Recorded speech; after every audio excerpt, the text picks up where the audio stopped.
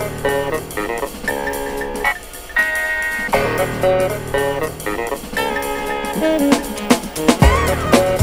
you.